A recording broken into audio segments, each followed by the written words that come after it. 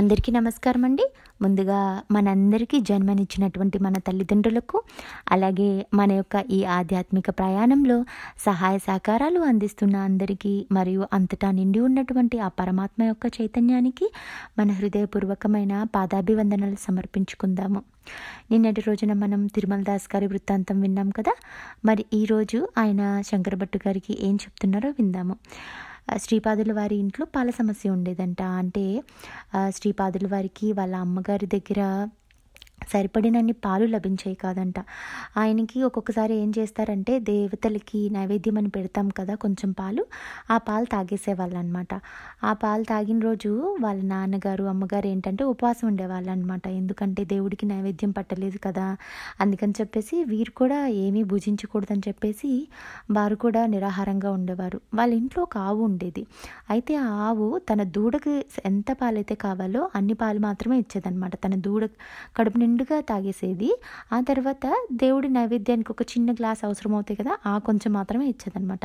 ఇలా ఈయనకు ఒక పాల సమస్య ఉండేది అని చెప్తున్నారనమాట అయితే మనము వెంకటప్పయ్య శ్రేష్ఠి నరసింహవర్మ గారి గురించి విన్నాం కదా వారిద్దరు కూడా ఏంటంటే సా సొంత మనవడిలాగానే శ్రీ పదవల్లభుల వారిని వారు భావించి వాళ్ళు సాకేవాళ్ళు అనమాట అయితే వారికి బాధగా అనిపించేది అయ్యో సాక్షాత్తు ఆ దత్తప్రభువే ఇలా అవతారం తీసుకుని ఉన్నప్పుడు ఆయనకే మనము క్షీరాన్ని ఇవ్వలేకపోతున్నామే.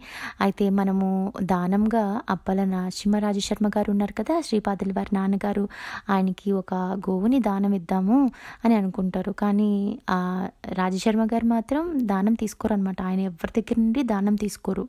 ఏదైనా పౌరోహిత్యం చేశారనుకోండి ఆ ద్రవ్యం మాత్రమే తీసుకుంటారు. ఒకవేళ ఎవరైనా ఎక్కువ ఇద్దామని ప్రయత్నించినా కానీ కోప్పడేవారు అనమాట అస్సలు దానమే తీసుకునేవారు కాదు. వాళ్ళ సొంత మామగారి నుంచి కూడా ఏ విధమైన దానం తీసుకునేవాళ్ళు కాదు. ఎప్పుడు భోజనానికి కూడా వెళ్ళేవారు కాదనమాట ఎవరింటికి. ఒక్క సుమతి మహారాణి యొక్క పుట్టినరోజు నాడు మళ్ళీ శ్రీ పాదవల్లభ స్వామి యొక్క పుట్టినరోజు నాడు మాత్రమే వాళ్ళ మామగారింటికి వెళ్ళి భోజనం చేసి వచ్చేవారు అనమాట అంతే తప్ప ఎవరి నుంచి ఏ ద్రవ్యాన్ని ఆశించేవారు కాదు. ఇలా దానం ఇద్దాము అనుకున్నప్పుడు కూడా ఆయన తిరస్కరించేవారు అనమాట నాకేమీ వద్దు మా ఉన్న దాంతో మేము సర్దుకుంటాము సరిపోతాయి అని చెప్తారనమాట.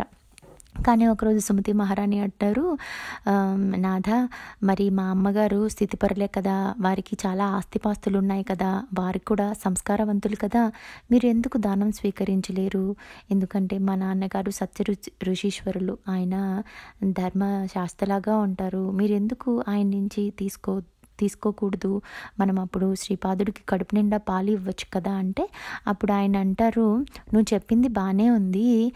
కానీ అందరూ అంటున్నారు కదా శ్రీపాదుడే దత్త దత్తాత్రేయుడు అని చెప్పేసి. ఆయనే దత్తాత్రేయుడు అయితే కనుక మరి మన ఇంట్లో ఉన్న ఆవుకే పాలు ఇవ్వచ్చు కదా అంటే పాలు పూర్తిగా ఉండొచ్చు కదా? లేకపోతే నీకే పాలు ఇవ్వ ఉండొచ్చు కదా దత్తుడికి ఇవ్వడానికి?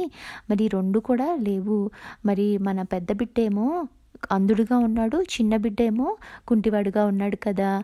మరి వాళ్ళిద్దరిని కూడా ఆయన నయం చేయొచ్చు కదా. నువ్వు ఈ విషయము మీ నాన్ననే అడుగు అని చెప్పేసి అంటారు అనమాట సుమతి మహారాణి వెళ్ళి వాళ్ళ నాన్నని అడుగుతారు. అంటే బాబన్నవదానులు గారిని అడిగితే ఆయన ఏమంటారంటే అమ్మ నేను యోగ దృష్టితో చూశాను. శ్రీపాదుడు సాక్షాత్తు దత్తుడేనమ్మ.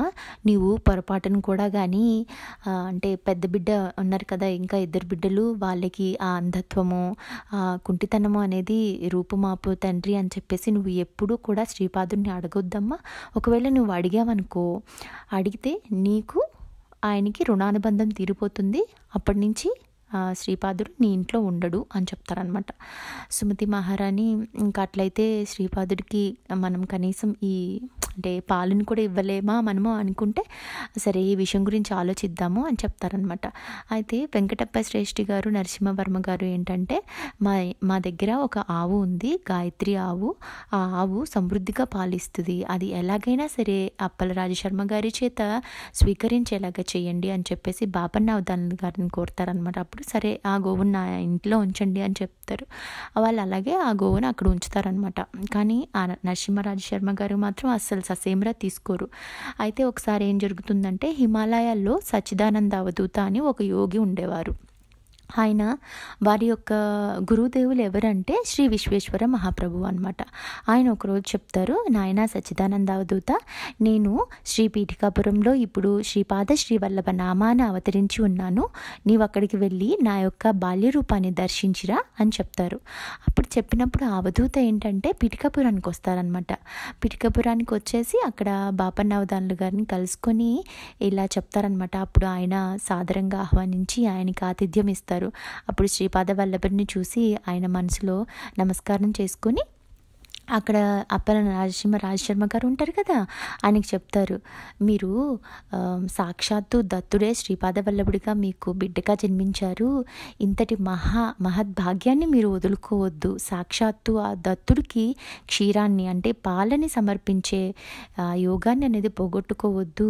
ప్రేమతో ఎవరు ఏమి ఇచ్చినా అది దానం కిందే స్వీకరించాలి. అది స్వీకరించకపోతే కనుక అది దోషం కింద వస్తుంది. నాయన ఈ మహా అవకాశాన్ని నువ్వు వదులుకోవద్దు. వద్దు అని చెప్పేసి వారికి చెప్తారనమాట నరసింహవర్మ గారు సరే అలా అయితే పంచభూతాల చేత నాకు ఆజ్ఞ ఇప్పించండి సరే అని చెప్పండి అప్పుడు మాత్రమే నేను ఈ ఆవును అనేది నేను దానంగా స్వీకరిస్తాను అంటారు.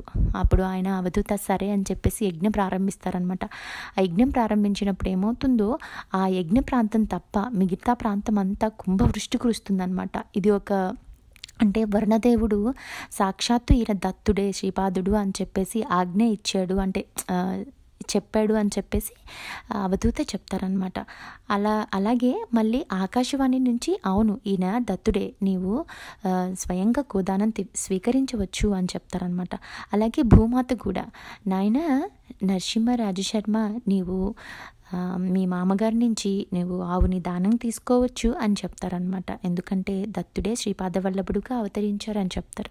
అలాగే ఆయన యజ్ఞం చేస్తూ ఉంటారు కదా యజ్ఞం చేసేటప్పుడు సాక్షాత్తు అగ్నిదేవుడే వచ్చేసి హవిసు తీసుకొని నాయన నీవు గోమాతని దానం స్వీకరించవచ్చు అని చెప్తారు. అలాగే వాయుదేవుడు కూడా అనమాట అంటే వాళ్ళు ఉండే ప్రాంతం కాకుండా మిగిలిన ప్రాంతం అంతా ప్రచండమైన గాలులు విస్తాయి. ఇది కూడా ఒక అంటే ఒక అనుజ్ఞ అని చెప్పేసి అది కూడా పంచభూతాలలో ఇంక్లూడ్ అయింది కదా అది కూడా ఒక ఆజ్ఞ అని చెప్పేసి ఇలా అన్ని పంచభూతాల చేత అనుజ్ఞ తీసుకున్నారు కదా నాయన ఇంకా నువ్వు తీసుకోవచ్చు దానం స్వీకరించవచ్చు అని చెప్పేసి తీసుకుంటారు చెప్తారనమాట అవధూత. అప్పుడు రాజశర్మ గారు దానం తీసుకుంటారు. ఆ సుమతి మహారాణి అప్పుడు ఆమె చాలా సంతోషిస్తారనమాట ఈరోజు మనం ఇంతటితో ముగిద్దామండి. రేపటి రోజున మరికొన్ని విశేషాలతో మళ్ళీ కలుద్దాం. అంతటి వరకు సెలవు నమస్కారం.